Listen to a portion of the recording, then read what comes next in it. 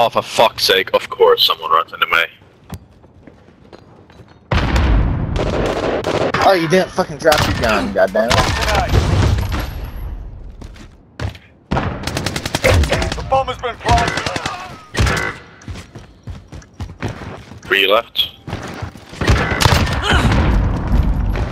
Yeah. One left. Oh shit! Yeah. Oh, you're fucking cracked, bro. Just throw a knife kill.